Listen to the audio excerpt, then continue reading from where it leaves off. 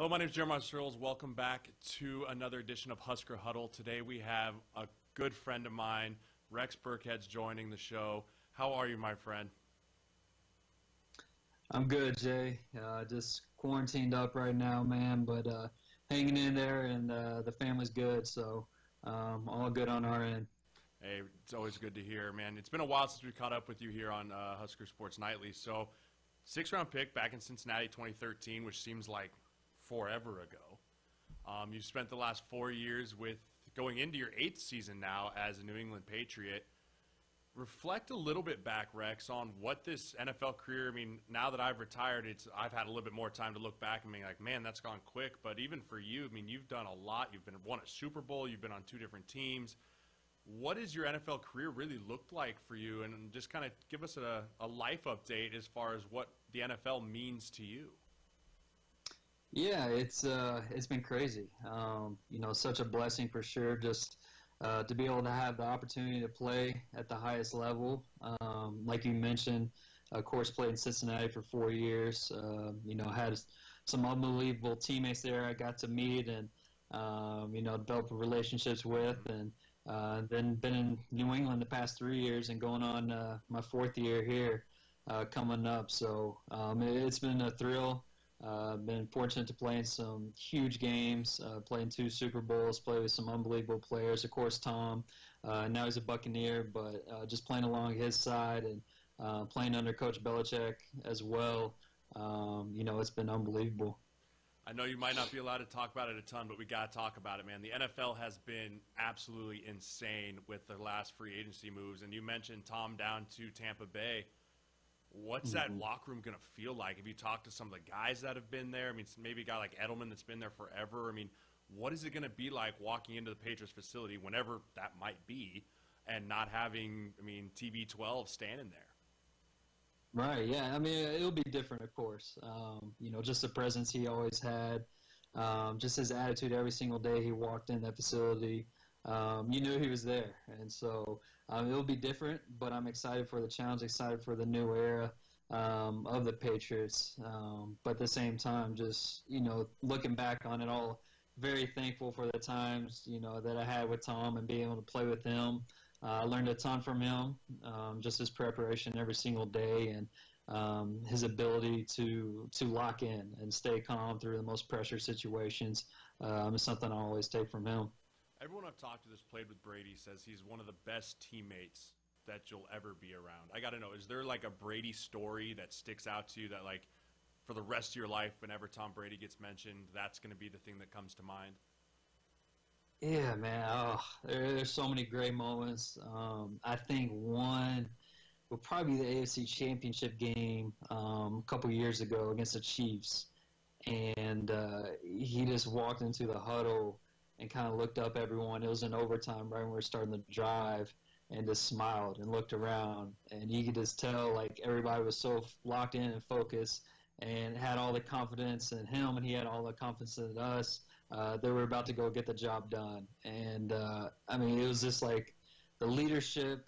Uh, you could feel it, the aura around him.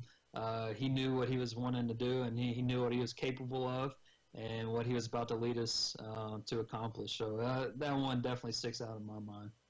Awesome, Rex. Let's shift gears a little bit here. Let's talk a little bit more personal for your life. Expecting baby number two, correct? Yes, When is baby number two coming? yes. Number two, uh, another boy.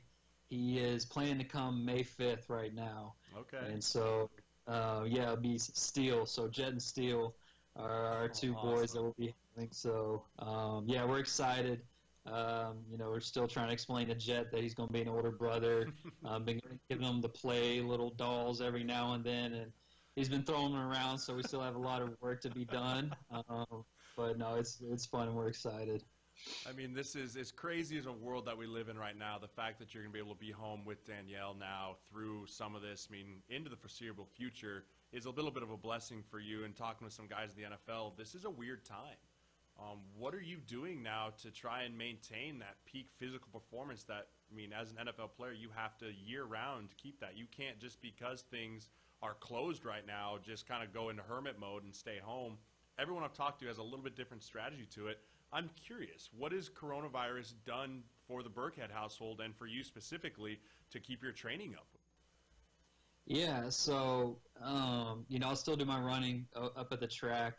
Um, you know, not too far from the house, and then um, I have fortunate I got a few weights in the gym or in our garage, I should say. And then my parents don't live too far from us as well, and uh, they got a nice setup I use, you know, ever since I was a young little kid. So, um, you know, still have some iron to pump and um, you know, things that I can go to um, just to get the exercise that I need to get in. Um, you know, of course, I'm not going to the gym or training facility I usually go to, but um, you know, still getting creative at times, using jet, you know, to get some some body weight exercises in and everything. So, uh, no, it's it's crazy. Um, you know, it, it's very sad everything that's going on, um, and it is an adjustment period, especially for the NFL. We don't know um, you know, when we're going to be reporting for spring OTAs or even camp or any of that right now. So just trying to um, stay in the best shape as possible. Tell people a little bit. I mean, OTAs are an interesting time. As an older player now, you're going into your eighth season.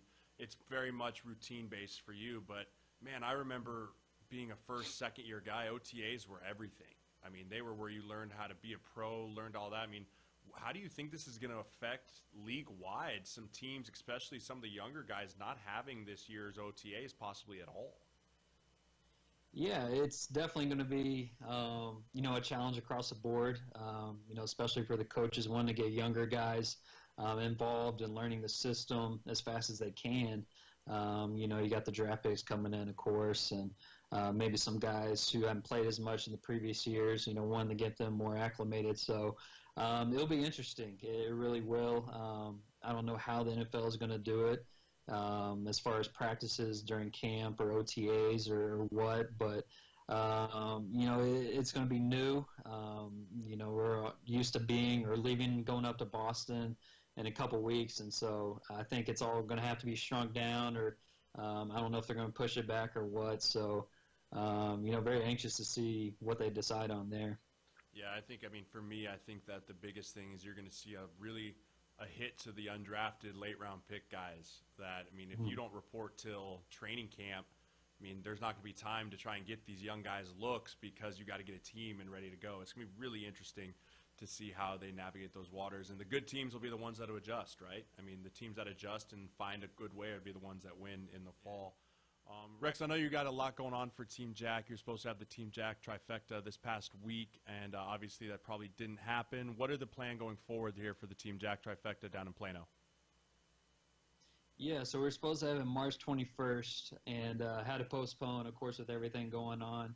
And uh, we're looking to do it in the summer, um, you know, maybe late June or in July, uh, but still kind of depends on how everything evolves here um, our OTA training camp schedule, all that. So uh, we're looking during that time period, um, but still just a lot um, to be filled out here. And uh, but the the trifecta, we've raised over two hundred thousand dollars.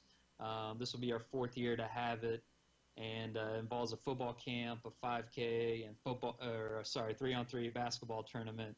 And uh, it's been great. The whole city, you know, comes out and supports us and uh, it's really neat to see the NFL guys come out there and uh, coach the kids up, and they just absolutely love it. So, um, yeah, we're looking for the summer. Hopefully, we can get it done, and uh, look forward to another great year. You get to show off your basketball skills out there. Uh, unfortunately, no, no. I uh, I wish I could join it. Uh, we actually had a team last year that had two former NBA guys that won the whole thing. So it gets it gets pretty competitive, um, and it's uh, entertaining for sure. I believe it. All right, before we let you out of here, Rex, we got to talk a little Husker football here. No spring ball for 2020, as we've talked about, but going into this year, it's a big year for Scott Frost in this program. Going into year three, what are some things as a former player, as a former Husker, a guy that I mean well respected around here, everyone knows your name. What are some things you're looking for out of this 2020 Nebraska football team? Just, I mean, I'm not asking you to say we're going to win the national championship, but I mean, real things. I'm talking to real players here that look at it from a different lens than most people. I mean, I've seen the growth in very small numbers in small ways. What have you seen in three years, and what are you looking for the product that's going to be put out this year? Yeah, and I, I think what you always want to see is jumps, jumps being made um, across the board, um, you know, and, and the way the guys play. and I think that's what you've seen. You've seen them respond. I think Coach Frost is getting the culture in there he wants, and um, when you see guys out there playing the way, um, you know, with toughness and um, you know, never quit attitude, that, that's what you want. And I think that's what Co- Coach Frost is finally getting um, out of his guys, and um, you can only go f- up from there uh, once you get that in place, and um, you know, understand that it, it's not going to happen overnight. And I think that's what everyone's realized. That um, it's going to take a little time, and um, you know, I'm excited for them. I'm excited for this year and uh, to see the jumps that they made um, this offseason. Absolutely, man. I think it's going to be a big year for Husker football. Rex, I can't thank you enough for joining us on this segment for Husker Huddle. I hope to see you next time you're back in Lincoln for a Husker game, um, and I uh, hope to catch up soon. Give my best to the wife and the kids. Absolutely. You do the same, Jay. All right, bud. Take care, Rex.